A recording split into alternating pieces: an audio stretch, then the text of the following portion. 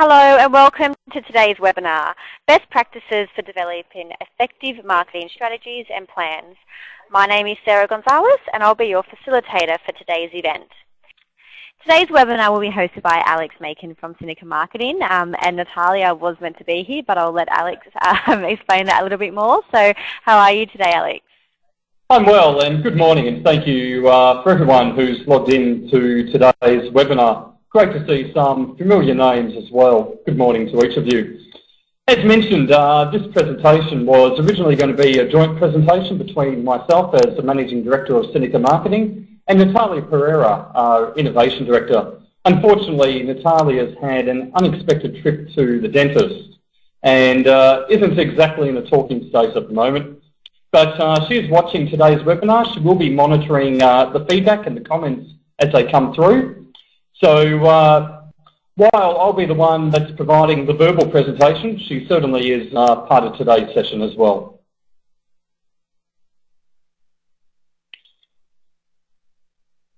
I'd like to begin by looking at a number of elements uh, that we'll be covering through today's presentation. And uh, as Natalia has just mentioned in the feedback, please do feel free to leave your comments as we go through. Today's presentation is fairly substantial. It covers a lot around marketing theory. And based on the feedback that's come through, we're also uh, going to be covering some specific marketing and communication tools as well. And thank you uh, to everyone that submitted uh, their feedback in terms of the content they would like to see today. So first of all, we'll look at uh, the context around a marketing plan what is required to develop effective marketing plans, particularly looking at the research and the capturing of data. We'll be moving into the strategy, so how we utilise that data and turn it into something that actually means something for your organisation. And then uh, we'll look through how to actually translate those into actions. A strategy is only as effective as uh, its implementation. So we'll be looking at how that can be implemented to ensure that you're able to measure those results and deliver the outcomes that you have identified. And uh, as we go through, we'll also looking at uh, we'll be looking at a number of elements and communication tools that are available. Uh, yes, uh, the slides will be available after the webinar as well. And Sarah, at the end of today's presentation, we'll be discussing that process. Okay, first of all, everyone, I just want to, um, there we go, we've done that, we've taken the camera off just so we can focus on the presentation at hand. Um, so I'm just going to make that full screen for everybody and then we'll bring Alex back up at the end um, while we go through some Q&A. So back over to you, Alex. Thank you. On uh, the presentation currently is the formal definition of marketing. I don't want to spend uh, too much time on this in particular, but one of the big challenges marketing has as a profession is the definition of what marketing actually is. And the fact that for many people, marketing can mean anything from graphic design through to telesales, through to direct mail pieces, through to the whole gamut of uh, whole range of tools that are used to deliver marketing outcomes. But what marketing actually is, is the strategies that are used to create value.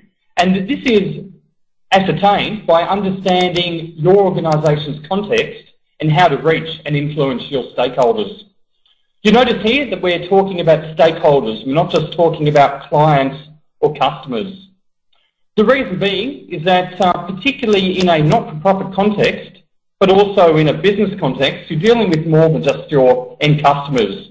You need to look at how you interact with business partners, funding partners, how you work with your suppliers, distributors, the whole gamut of the people and the processes that are used to deliver what it is that your organisation delivers.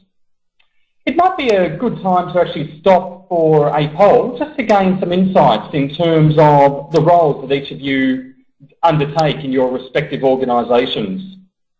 So I'll pass across to Sarah who will undertake our first poll for this morning. Great. So we're asking people what their core responsibility is within their organisation. Is that correct, Alex? That is correct.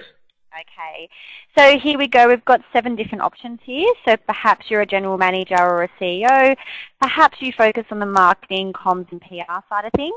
Um, sales, membership, sponsorship are also options or other, or perhaps your role is a bit of a hybrid and you wear a lot of hats like a few of us do. A few of us do. Um, either way, um, like Bonnie's just done, please feel free to comment in the Q&A box in the bottom left-hand corner and we can get some discussion growing, going. Um, and then you can see some results coming through, Alex. Certainly can. And a great mix uh, here this morning, a mix between uh, yeah the manage overall management responsibilities, marketing and communications, I understand that uh, quite a number of roles are actually shared, but uh, for this purpose, let's focus on uh, the one that is your core responsibility. And uh, yeah, fundraising is, is another uh, possibility as well. Okay, there's the final results from that poll. So 28% are just in marketing as a full function. Um, so we'll close that and then we'll move on. And in many organisations, obviously, roles are shared. So thank you for completing that poll. It provides an understanding of, I guess, uh, the content that you'd like to see through this morning. An effective marketing plan begins by understanding what your business or strategic plan needs. And I like to draw the analogy that a business plan looks at what you want to achieve. So where your organisation wants to be in the next 12 months, where your organisation wants to be in the next three years. And a business plan, of course, is a top-level document. It connects all the various arms of your organisation or your business to provide a cohesive direction. Underneath the, the business plan, you then have a marketing plan, looking at how you can actually deliver those outcomes and the vision that has been identified by your organisation. So the marketing plan looks at how you actually deliver those outcomes. So it looks at components like the marketing mix. Uh, it looks at the mix of your products, your services, pricing, the people that you want to reach, the tools that are available to reach those uh, stakeholders, and it sets out actions that achieve those goals. So marketing should be quite measurable in terms of what it is that you want to identify and look at the actual actions that you want to achieve that you can use to achieve those goals. So an effective marketing plan complements the, effective, the existing direction of your organisation and it needs to understand the broader context of your organisation. And this is where it's very important to build on strengths. It's very important to build on what it is that you're already undertaking effectively and what can be leveraged to provide new opportunities. Likewise, it provides an opportunity to mitigate any weaknesses that may exist. So ensuring that you're able to build on strengths and minimise any threats that may occur through weaknesses. An effective marketing plan identifies timeframes and we'll be going into a number of these elements in further detail shortly and it encourages collaboration. The number one tool to ensure that a marketing plan can be adopted across an organisation and to ensure that it can be understood and reinforced by an organisation is collaboration. Unfortunately, I've seen far too many examples of where marketing sits as a silo within an organisational context and its impact on the wider organisation through the sales process, through customer service, through PR and communications often tend to get sidelined marketing needs to be seen as a whole of organisation approach to ensure it is effective. What I'd like to do now is work through the methodology that we often use in developing marketing plans so that we can look through a number of elements that we often find deliver effective marketing outcomes. Now there's no right or wrong way to deliver marketing. There's no right or wrong way to deliver a marketing plan.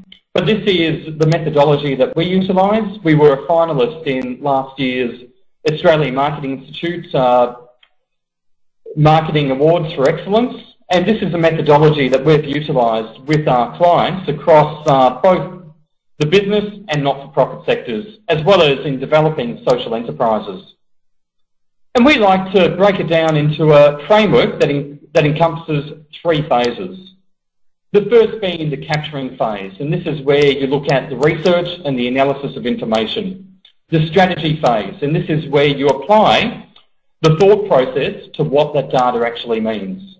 Building into some recommendations that then impact on the final phase, being that delivery phase, where you identify the resources that are required and confirm the timeframes. Once again, this is where collaboration is particularly important. A marketing plan will often impact other aspects of an organisation, and you need to ensure that the timeframes that are identified are firstly achievable, and secondly that the resources are available if you are working in with other departments. We like to consider that our plans follow a 50-50 approach, and that's looking at 50% research and 50% strategy. A number of uh, attendees uh, in this morning have actually been clients of ours, and no doubt they'll be familiar with our methodology and the fact that there is quite a substantial amount of research to, to identify the marketing outcomes and to justify the recommendations that we provide. Research allows you to identify potential competitors, not just existing competitors, but also emerging competitors. It allows you to identify similar products and services. It allows you to look at key demographics and trends that may impact on your delivery. It allows you to understand the broader marketing context. Are there regulatory changes that may impact your ability to deliver services? Is there new legal frameworks that may impact service delivery? Are there emerging risks on the horizon that need to be understood and mitigated? And allows you to also identify other areas that may need to be tackled through the marketing plan. Ultimately, research informs your strategies. If you don't have the right research, you're not going to be able to undertake the right strategic direction for your organisation. Obviously, uh, research tends to be as big or as small as you like to make it. So where do you start? Well, you start by understanding who are your existing and likely customers. What are their demographics? What other stakeholders do you need to consider? Bearing in mind that uh, marketing is more than just about the service delivery aspect of your organisation. It's more than just looking at your end clients. It's about how do you interface with your board members? How do you work with volunteers? How does your membership uh, and your members fit into your broader marketing strategy? How do you communicate to those members? How do you work with funding partners and what marketing approach do you need for funding partners to ensure that they're on side in terms of your service delivery? Who are your competitors? Particularly looking at uh, grants and uh, funding partners, every organisation has a form of competition. So how do you leverage the strengths of your organisation to provide that edge in terms of receiving funding income? And what other factors will influence your marketing? Many of you are probably familiar with the situational analysis, otherwise known as the SWOT analysis. And the SWOT analysis looks at uh, both the internal and the external factors. SWOT analysis uh, tends to be a tried and true sort of methodology that tends to be used. But they are quite a useful tool, particularly in getting uh, other personnel involved in marketing. It allows you to quickly identify the internal factors that uh, are relevant to your organisation. So looking at uh, the strengths and weaknesses that can be controlled by your organisation, as I mentioned, you want to leverage those strengths. Understand what your core strengths are because ultimately they are going to be able to provide you with a competitive advantage. Conversely, do understand weaknesses and ensure that you're able to control those weaknesses so that they don't uh, become emerging threats, as well as also the external factors. So the opportunities that are both current as well as potential emerging opportunities. And then the threats and risks that exist. So the threats that are both current and may be likely in the future. Where you need to actually analyse a SWOT analysis is not just in listing each of those items, but in understanding particularly how likely each of those factors are to occur. How likely are the opportunities that you have identified? how likely are those threats or risks? And depending on how probable they are, what can you undertake to influence their likelihood? Marketing has a number of interfaces with risk management. And this is where it's particularly important to understand what those risks are so that you can mitigate them and how probable they are as well. Obviously, the more probable and the more serious a threat is, the more you want to actually take the time to understand how they can be mitigated. Conversely, looking at how probable and uh, how likely an opportunity is will allow you to actually devote the time to actually develop that opportunity and enable you to leverage your strengths to take advantage of that. I'd like to uh, pause for a moment and just take a quick snapshot around how many of your organisations that you hear uh, represented today actually have a current marketing plan. Over to you, Sarah. Great. So this is um, a simple yes or no question. So does your organisation actually have a marketing plan? Um, and I think this is going to be really interesting to get some insights on, Alex, don't you? Yeah, it definitely is. And it's interesting. This is a question that I often ask uh, at a number of presentations that I deliver. And as time goes on, I've increasingly seen uh, the yes responses increase. And it's great to see that we're almost at a uh, position of well, 40-60 split here, but it's great to see that the yes responses keep on increasing. A marketing plan is critical to enable you to leverage opportunities for an organisation. They've been uh, quite common in the corporate world, quite, quite common in uh, particularly medium and uh, larger enterprises, increasingly are being used in smaller businesses, and likewise are increasingly being developed in the not-for-profit sector. And when we look at uh, the emerging trends and the challenges that the not-for-profit sector faces, a marketing plan is going to be critical for mitigating those challenges and undertaking and understanding the opportunities that exist. And uh, great to see also uh, that discussion around developing an overall organisational plan as well. And you're right, Susan, what uh, needs to be undertaken is that consolidation around each of those plans so that your organisation is able to work in one direction. Thank you for uh, the responses there. And great to see, as I mentioned, that yes column uh, increasing each time. Off we go. So let's talk about how we understand our customers. And uh, definitely you do want to remove those silos, Susan. Great to see uh, work in that regard. So who are your customers? And what needs do you fulfill? And this is where you want to look at both the direct needs that you're fulfilling, but also the indirect needs. If you're a professional services organisation, you're obviously fulfilling a component in uh, your members being able to demonstrate that they are a member of your organisation. But uh, what other needs are you fulfilling? Conversely, what value are you providing through the products and services that you're delivering? And how do those products or services actually fulfill that need? This is where you want to look then at the market segments that are available. So what you want to do is move beyond the broad brush marketing approach. No product or service applies to everyone in the entire country. You want to actually look at what common elements and who your target customers are. And you do that by looking at what their common attributes are. This uh, component tends to be fairly research heavy, particularly looking at primary data. And this is where the Australian Bureau of Statistics can be incredibly useful. Uh, the ABS has actually released uh, the SEIFA index, which can now be uh, in integrated into Google Maps. And that allows you to actually map particularly areas of relative disadvantage.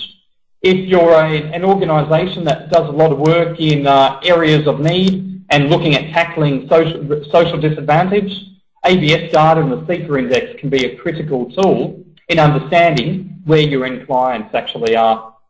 Customer surveys can be extremely useful.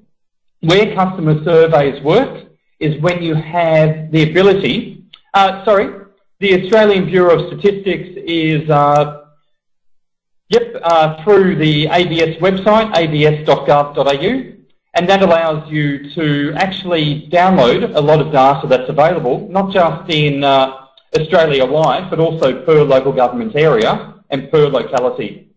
it allows you to actually drill down into particular uh, localities. The SEIFA index, and I'll type it in, uh, looks at the relative areas of disadvantage. So it actually involves an index looking at areas that have higher degrees of disadvantage compared to others. When you're looking at particularly funding uh, grants or funding submissions to government, leveraging indexes like SEIFA, leveraging ABS data can be critical. You also want to be able to reinforce your knowledge through customer surveys. And where surveys work effectively is when you have that mix of quantitative questions, so simple yes-no questions, or that mix of uh, you know, very agree through to disagree, and that mix of open-ended questions. Typically, if your survey is delivered online, the simpler it is to fill out, the higher the response rate you're going to get.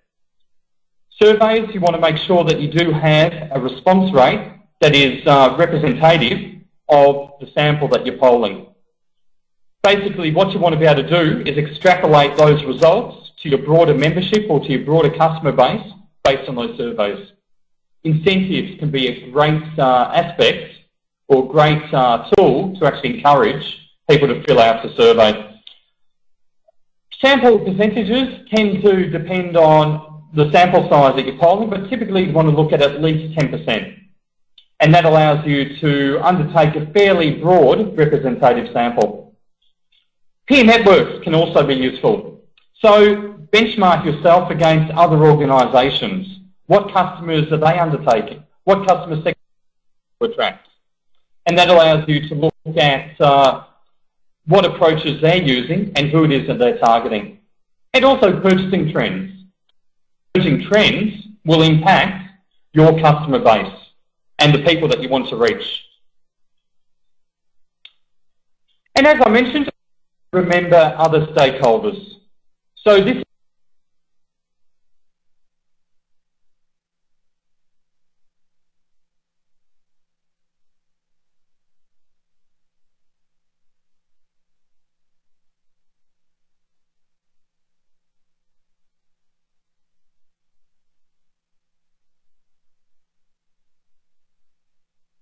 Hi everyone, it seems that Alex um, has actually cut out with his phone at the moment, so we'll just wait for him to come on board.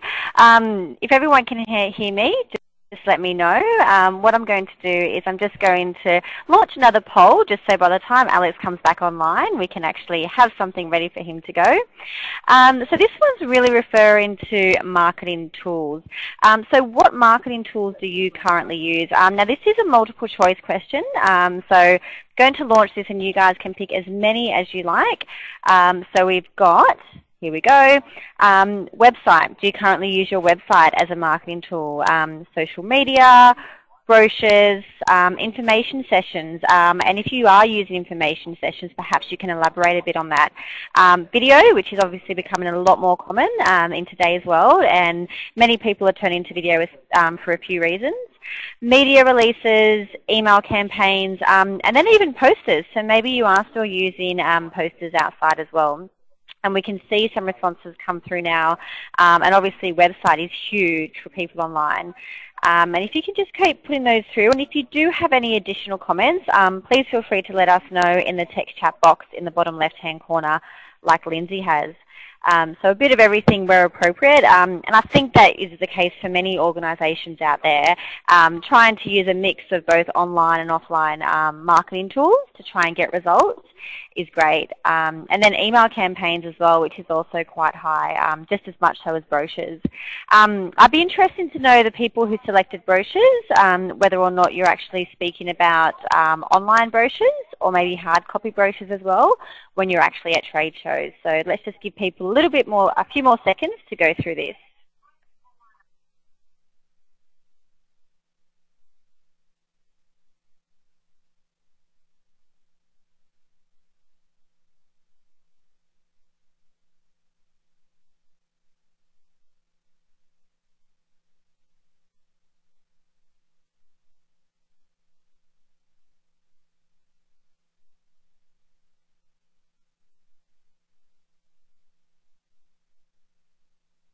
Great. So interesting to know that you have um, hard copy and online brochures, and I think that can be a great mix, especially when you are at trade shows and stuff like that alike. Um, so we're just still waiting for Alex to come back in. Um, so just one moment, um, and we'll just keep those questions coming.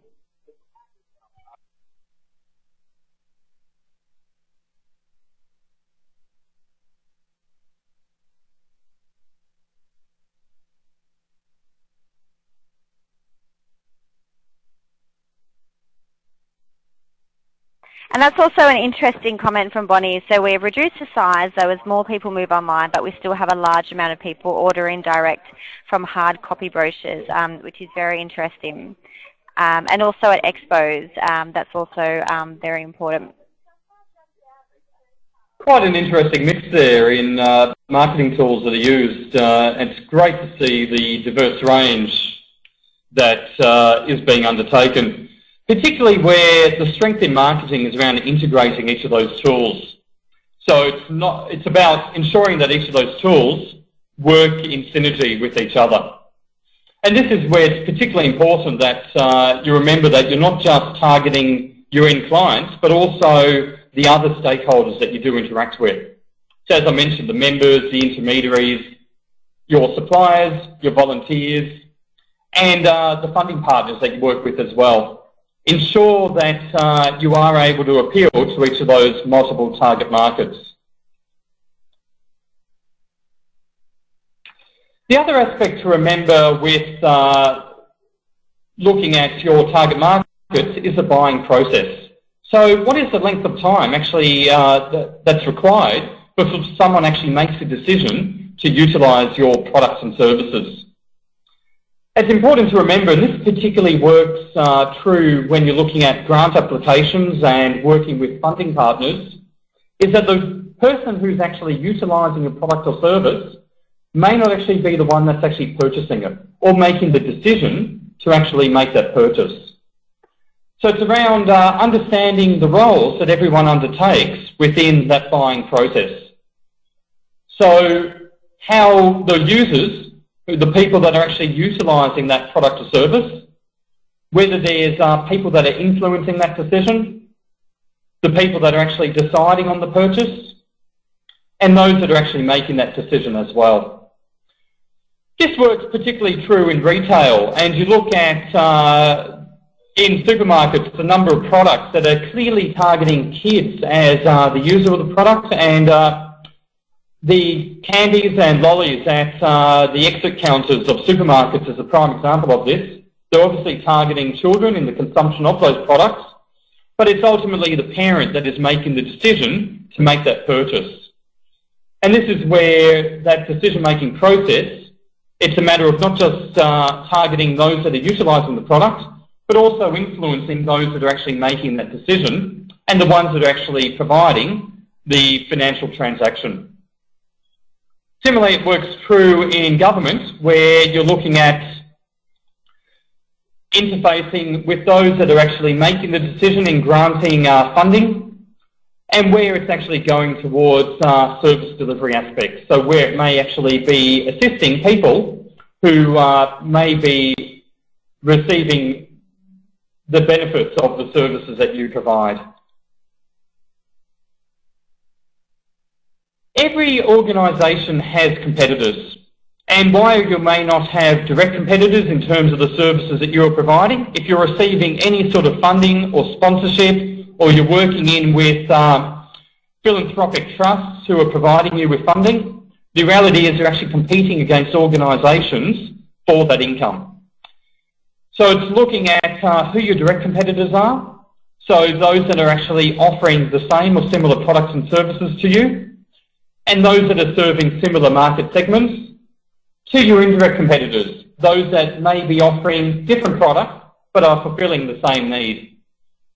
Classic example is looking at, uh, say, restaurants. And if you look at uh, high-end restaurants, obviously uh, direct competitors are other high-end restaurants. But also when you look at uh, indirect competitors, might be other uh, high-end entertainment venues as well. So comparing, say, a dinner through to a night out at the theatre. And then uh, the other products and services that fulfill a related need. So obviously in the example that we've used, the broader need is one around entertainment. So how does going out for dinner or seeing a musical theatre show compare to, say, watching a movie at home and sitting on the couch and having uh, uh, watching an entertaining DVD uh, or video? It's around understanding that broader competitor context. So it's not just about looking at uh, your direct competitors, but who those broader competitors are as well. And that's particularly important when you're looking at uh, funding applications. Bearing in mind that uh, funding applications obviously work in looking at priority areas from either government or philanthropic trusts or business partners and identifying on how you identify those needs and achieve those needs that they see as their priority areas. You also want to be able to look at the broader environment. The marketing terminology here is known as a pestle analysis. And basically that looks at your broader political context. So, uh, and this is particularly true, true in the not-for-profit context currently. What is the impact of uh, political changes? What does it mean for your organisation?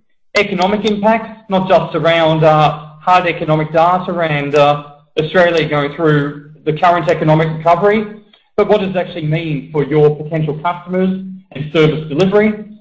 Social attitudes. How do so, so changing social needs impact on your organisation and its ability to deliver its products or services? What's the impact of technological changes not just around uh, the organisational capacity and internal technology changes, but what does that mean in terms of that broader service delivery through to the environmental elements.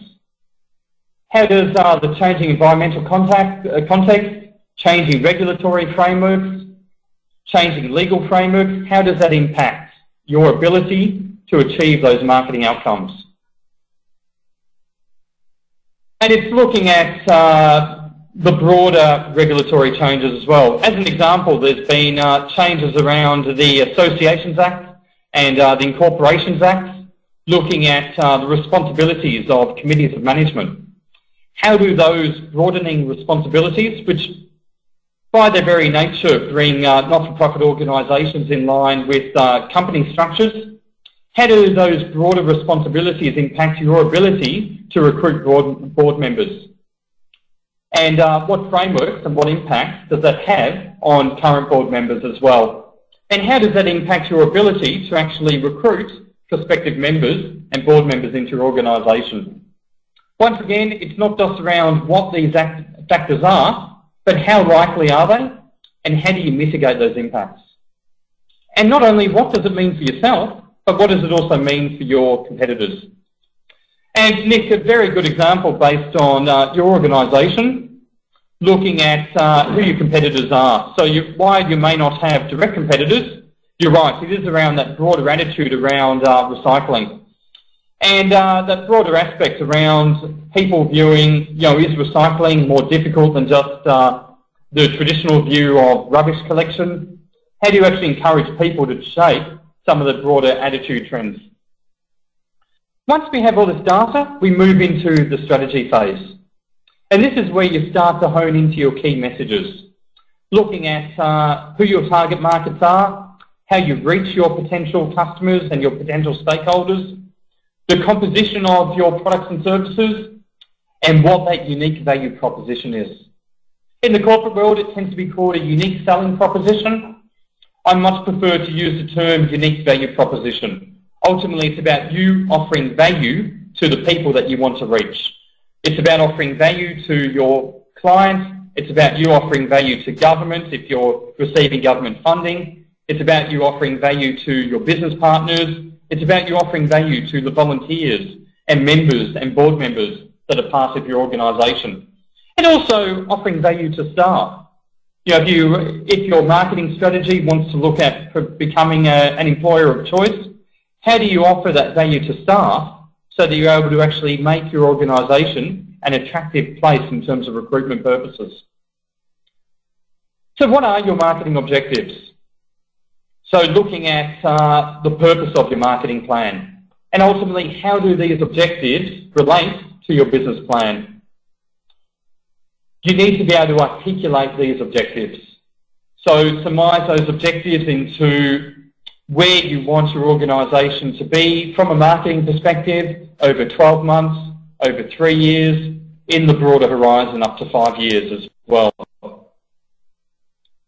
And a very good example from Samantha in the comments around uh, where there is a strong competition in putting together proposals for corporate sponsorship, where once again it comes down to identifying the needs that you're able to fulfill, not just in terms of what you deliver, but also in how it aligns with corporate partners as well. When you're working with corporate partnerships, it's around uh, looking at a multi-pronged approach where you're able to link your key messages and your key deliverables back to what those corporate partners want to achieve as well. Marketing ultimately is collaborative. It needs to involve the entire organisation. You want to be able to target your key stakeholders. You want to be able to seek feedback. You want to be able to review your findings. You want to be able to workshop uh, those methodologies and those outcomes so that you can ensure that goals are shared. And uh, particularly where, as I mentioned, implementation may actually rely on others. The greater the degree of ownership over your plans and your strategic direction, the greater outcomes you're going to achieve through that implementation process. So what tools can you use? Well, you can conduct workshops. And workshops can be very useful in the initial phases as you basically put everything on the table and work through what it is that you want to achieve. But you can also use workshops to share the research that you have identified, some of the insights that you've been able to uh, analyse and what it actually means.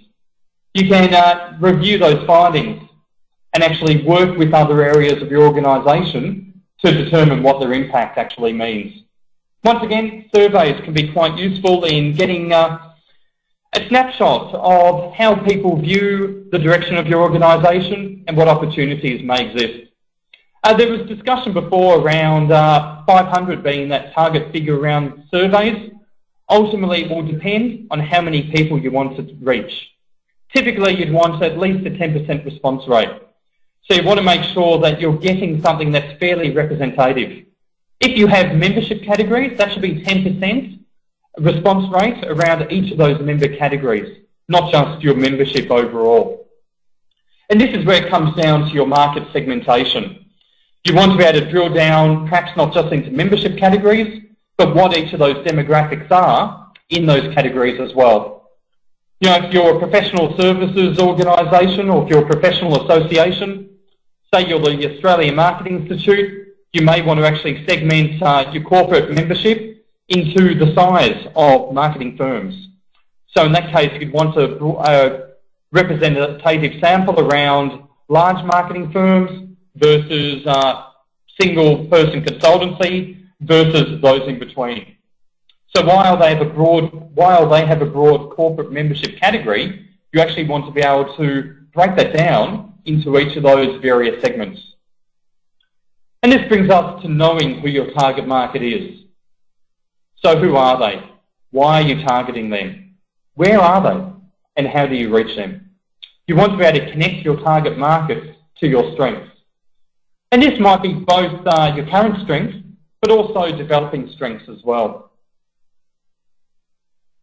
Ultimately, that linking to your target market creates your value proposition. And that enables you to actually develop your key marketing tools to reach that target market. And your target market needs to be broader than just uh, we're targeting X people in our general locality. It needs to look at those specific marketing attributes that you want to reach and those specific demographics. Is there a particular age of people that you want to reach? Is it uh, a cohort within your general locality? Because ultimately this will shape how you respond. Looking at do you differentiate? do you actually develop a point of difference between your competition and leverage those points of difference? And that can be particularly important in working with funding partners, where you actually want to be able to stand out from the crowd and show that investing in your organisation delivers greater or more targeted outcomes than other organisations. Or do you innovate? Do you do what others do, but do it more effectively? This is going to be particularly important as we move to an increasingly competitive grant space, where you will be able to, you will need to demonstrate that ability to deliver greater outcomes and as effectively as possible. Or do you simply imitate and follow the competition? Ultimately, what you want to be able to do here is create value. Because what you want is a unique value proposition that is sustainable, that provides an advantage and is able to allow you to demonstrate why it is important. It's about ensuring that uh, that unique value proposition is respected, understood by the people that you want to target. Once again, it's not just about uh, your customers or your clientele, it's around looking at everyone else that interacts with your organisation. Volunteers, it's around why should they invest time in your organisation versus others that exist. If it's funding partners, why should they invest in your organisation relative to others? What is that competitive advantage? And ensure that it does become sustainable. And this is where, and we see it all the time in the retail sector, competing solely on price becomes a very dangerous playing field. The more you compete on price, the more likelihood it is, the more likely it is that others will come in and undercut you. You want to be able to de demonstrate value. And demonstrate value is more than just pricing. It's around the entire customer experience. Is it a customer experience that actually encourages repeat purchases or repeat uh, interactions with your organisation? Pricing is part of that mix, but it is not just the sole determinant. As you look at, uh, say, the level of service in an IKEA versus a high-end furniture store, You'd hope that your high-end furniture stores have a much better so service process, much better interaction with you as a customer. Because if they don't, they're actually eroding part of the value that they provide. And the next time you look at purchasing furniture, it becomes a question of, well, if I'm getting uh, the same base level of service, why wouldn't you go to IKEA versus higher-end furniture retailers? Ultimately, it is about being consistent. Your service, uh, the aspects that make your broader service or product delivery needs to be consistent. If you're an IKEA, you market yourself as an IKEA and you're able to demonstrate that you get a consistent experience and this is what to expect from IKEA. If you look at high-end fashion retailers, high-end uh, furniture retailers, you expect a higher level of service and that's part of the, the messaging that they typically tend to demonstrate. That's part of the overall consistency. Inconsistency creates confusion. If you're a not-for-profit organisation, it's around identifying what your core message is, what your core values are, and articulating that vision. The minute you create confusion, it makes it difficult to connect funding partners with the key values that enable the delivery of your services, or to connect members with the outcomes that their membership provides to your organisation. It's around understanding how the target market responds to that consistency because part of that consistency interacts with your branding and enables you to demonstrate value. If, you're an, if you market yourself as an innovative organisation, how does that actually translate in practice? What value does that innovation provide to your members? What value does that interaction provide to volunteers, to your staff, to board members and to others? Every form of contact that you have with a stakeholder leaves an impression. And this is where consistency is critical as you work through your marketing strategies. Whether it's your website, whether it's social media, whether it's uh, the broader leaflets, uh, your broader marketing context around leaflets, brochures, newsletters, and we conducted that poll previously looking at the mix in what people utilise information sessions, expos, it all leaves an impression. And you need to ensure that that impression is consistent around this is who our organisation is, this is the outcomes, or these are the outcomes that you will receive and the value you receive if you interact with our organisation. Inconsistent contact leaves an impression. And that marketing mix, and this is where it's particularly important to get ownership around uh, the overall marketing impression. It is broader than just uh, the marketing collateral. It is around telephone and email correspondence and how that is, a, that is actually answered. If there's uh, areas of your organisation that tend to be unresponsive or are not uh, responding to correspondence as positively as they otherwise could be, that leaves an impression on your organisation. If there's areas of your organisation that are operating as silos and not enabling uh, stakeholders to interact with uh, your broader values, that impacts your ability to deliver outcomes. I thought it'd be useful to look at uh, content as well. And this is, content revolves in copy of uh, what it is that you want to deliver and how it is communicated. Ultimately, you want to know who you are targeting and be able to appeal directly to your readership. You want to be able to look at making a claim or offering advice. It's around ensuring that your headlines are able to grab attention. And often uh, the AIDA formula is the one that tends to be used. The A standing for attention, gain attention through a headline, and hold it by uh, integrating headline into the copy of your content. Headlines that have little uh, connection with your broader content, whether it be as an article, whether it be as a newsletter, or whether it be as a poster or flyer, may gain attention, but they won't necessarily sustain interest. And this is where you want to uh, ensure that the content actually appeals to people's emotions and creates a sense of people understanding these are the outcomes I'll be able to achieve. Because that enables you to then leverage desire, where you actually want to be able to persuade your readership to respond, and through to action, because ultimately every item that you create, you want to actually demonstrate the actions that you want someone to undertake. If it's attending an event, it's around uh, actually delivering uh, those, uh, delivering people to those events. If it's around recruiting board members, it's around recruiting people into the board.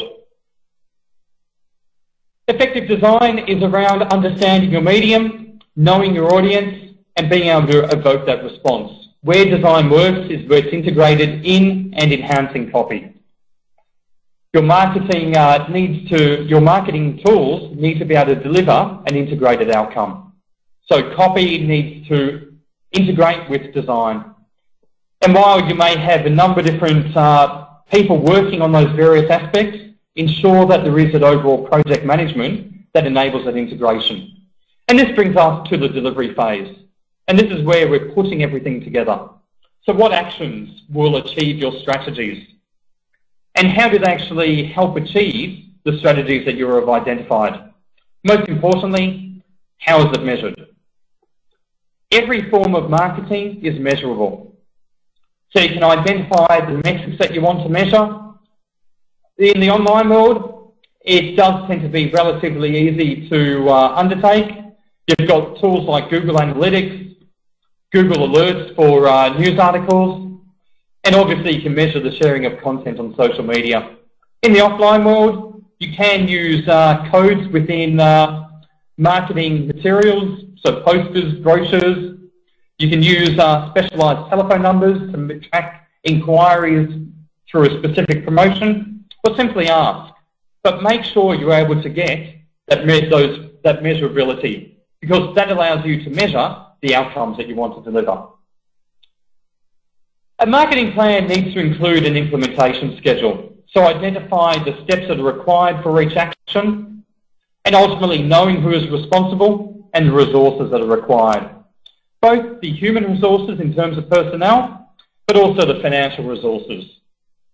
Once again, it comes back to timeframes. Identify each action that is required to achieve that strategy. If it's an event, look at uh, each step that is required to deliver that event. From uh, when posters need to be produced, through to when invites to VIPs need to be issued, to when the media needs to be contacted, through to uh, the actual event itself. If you're seeking grants, find those relevant funding bodies, and once again, align it with the value that you're providing. If you're looking at media, the media is an audience for your event. ultimately it comes down to finding that relevant angle. We've covered events, but make sure that events are covered, they're planned in advance. And that implementation schedule is critical for events. It's not just around the event itself, it's what you do in the lead up to the event, and importantly, what you deliver after the event. If you have sponsors who assisted in that event, make sure that you interact with them after the event. Thank each of those sponsors. Provide an opportunity to distribute photographs or videos of the event. Treat those sponsors as uh, carefully as you did during the event so that you can hopefully recruit them should you uh, hold that event in the, the future. Where sponsorship ties in with event management is actually leveraging existing sponsors for future events. The more you keep those sponsors on side, the easier it is to get them in future years. Social media is around extending the reach of your online presence. Ensure that you integrate it with your website and do understand who it is that you want to reach. Ultimately, it's about utilising the right tools for the right purpose. And each of these might be outcomes that you've identified through your marketing strategy. Uh, in your implementation schedule, if you're looking at social media, it's around uh, actually identifying your content. What content will you actually distribute on social media? What interactions do you want with that content? And using the right tools for the right purpose. If you want to build an online community, you'd use Facebook. If you want to de deliver video, you'd use YouTube. If you want to interact with a younger demographic, Instagram can be particularly useful. Marketing needs to respond to change. So compare results to expectation. Understand why outcomes deviated. What has changed? And is it actually a problem? If uh, results are different to your expectations, note that, but is it actually a problem in terms of what is actually being delivered? And then looking at uh, each of those three phases to recap, as I mentioned, marketing requires strategy. So undertake research to understand the markets that you want to reach. Know what it is that you want to achieve and plan your implementation. Be able to measure those results and be able to articulate any deviations that have occurred. Ensure that you're able to uh, track results both online and offline.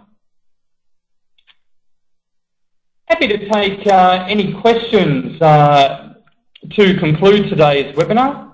Hopefully I've had a chance to answer any feedback as it's come through, but this is now an opportunity to deliver on uh, any final questions that may uh, people may have. Excellent, thank you for that. So yes, if anyone does have any questions, please feel free to type them down into the messages box in the bottom left-hand corner. Um, and also, there's just, just bringing this up now, um, there's just a survey up here that we would like you to complete just in response to today's event. Um, thank you, Alex. Um, I'd just like to hand it over to you to wrap up while people are um, typing their questions away, um, and also just provide some insights into the special offer that you would like to alert people to today. Fantastic.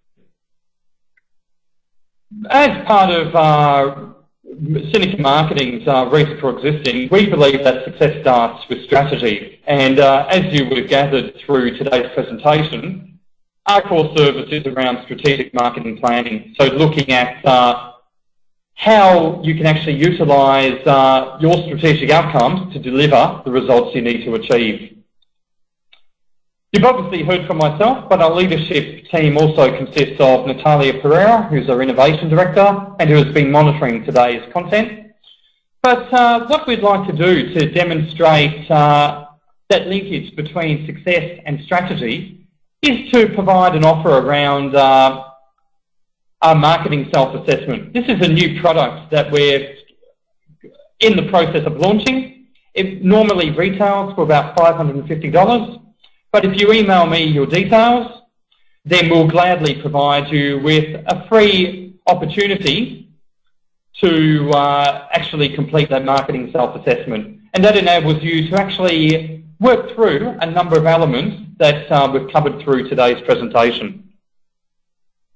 Great. Thank you. Um, now we have a question from Trudy. So it's more in relation to um, a query regarding market sizing and competitors. So how can Trudy find out revenue levels of her competitors when they are um, proprietary limited um, because they don't actually publish their results?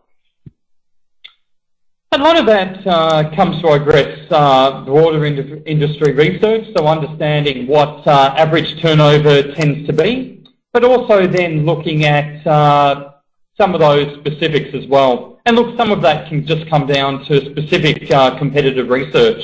You know, as part of a marketing plan, you may actually want to uh, look, may actually want to contact those competitors directly and gain an insight into what their revenue levels are. Uh, we actually worked with uh, a not-for-profit social enterprise that was in the process of launching a not-for-profit real estate agency. And we actually undertook some of that direct competitor analysis. And we were able to gain some insights into what those uh, turnover levels were and those revenue levels were, and also their overall sales process. And that was able to inform us in terms of targets and the sales process that this new agency would need to provide. It's actually one of the questions that is answered through the marketing self-assessment as well.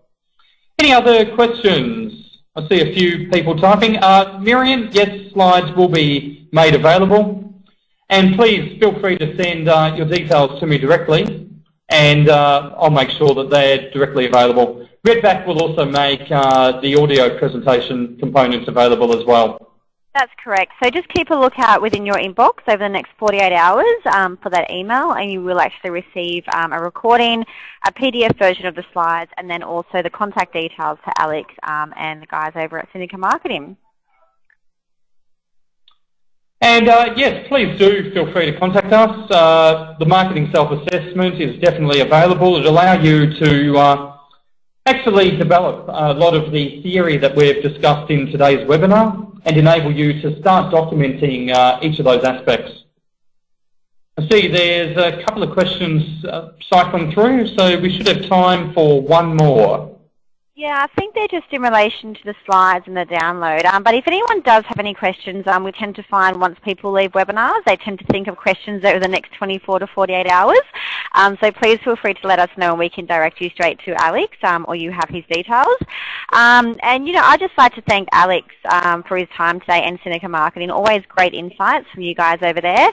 and as you know, both Syndicate Marketing and Redback Conferencing support all of our charities and not-for-profits. And he's just a few links to our um, charity spotlight for June, which is Red Kite and their Workplace Giving Month. Um, so we encourage you to take a look at their site, what they're all about, and to get involved. Um, great cause, um, and we like to support them as much as possible. So hopefully you can all get on board as well. Um, so John's just mentioned something on self-assessment, marketing self-assessment. So can we just go back to that slide before we leave, Alex? Certainly. There it is. Excellent. I've also included my email address in the comments. Uh, basically, that self-assessment will let you uh, complete each of the sections that we've developed uh, today in today's presentation. Excellent. It will provide a good reinforcement to uh, each of the each of the slides that have been delivered and enable you to start putting uh, some of those thoughts onto paper. The hardest uh, place to start with marketing is actually documenting those thoughts often they'll be in our heads. This uh, is a tool that enables you to start documenting it and to start enabling that collaborative process with other areas of your organisation. Um, that brings us to the end. So thank you everyone for joining um, and thank you everyone for being so interactive and engaged within today's session. Um, we do hope to see you at future sessions, so keep a lookout for those invitations. And thank you Alex once again and enjoy the rest of your day everybody. Always a pleasure. My email address uh, is included in the comments, so happy to take uh, other questions as well. Thanks, everybody. In the case of uh, all the questions being thought of after the presentation concludes. So please keep the communications going. -huh. Part of what we want to do is uh, expand uh, the discussion around what marketing is and enable organisations to uh, gain a greater insight into how marketing can actually be utilised. So feel free to keep the conversation going. Thanks everybody. Have a great day.